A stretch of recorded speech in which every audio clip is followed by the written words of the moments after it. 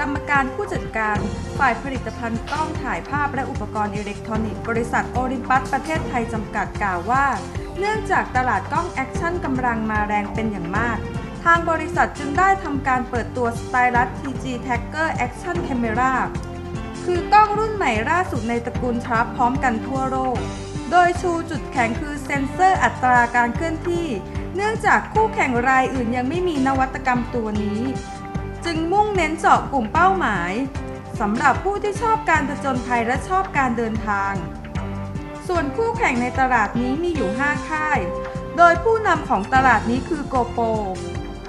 ส่วนแผนการตลาดที่วางไว้คือ เน้นการประชาสัมพันธ์ผ่านสื่อออนไลน์โซเชียลมีเดียเป็นหลัก หลังจากนั้นจะเป็นสิ่งพิมพ์ต่างๆ ตามมาเป็นลำดับ ตั้งเป้ายอดขายในปีนี้ไว้ที่ 5,000 ตัว คิดเป็นมูลค่าราว 85 ล้านบาท ด้านภาพรวมยอดขายของบริษัทในปีที่ผ่านมา มีอัตราการเติบโตอยู่ที่ 40%และยอดขายกล้องทั้งหมดอยู่ที่ 1 ล้านตัว กลุ่มสินค้าที่ทำยอดขายได้สูงสุดของบริษัทคือกล้องที่สามารถเปลี่ยนเลนส์ได้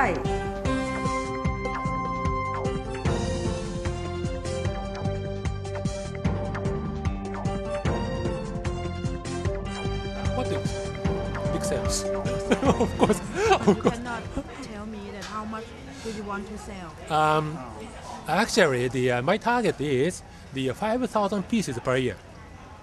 5,000 pieces per per year. ค่ะ So we are we are kind of newcomer for this segment, right? So we cannot expect the uh, big quantity from the beginning. So uh, um, that's why the uh, the quantity is not so big actually, yeah. And uh, but I believe the uh, we can achieve that target. So if the uh, you think this camera is just action camera compared to GoPro or um, Sony has and the Panasonic has the uh, Garmin has the uh, many competitors, but the uh, our camera is really totally different from the others. Field look camera, Uh, not just action camera. So for imaging business, um, what I can say now is I, I, I don't disclose, we don't disclose the exact number, but more than one billion. More than one billion. So uh,